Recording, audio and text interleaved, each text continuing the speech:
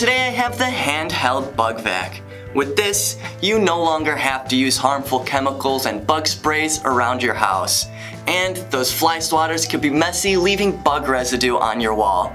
And best of all, you don't even have to touch the bugs. This will work on spiders, flies, bees, ants, beetles, and all the other creepy crawlies. Use this on bugs that are dead or alive, and the vacuum allows you to safely dispose of them in the trash bin or outside.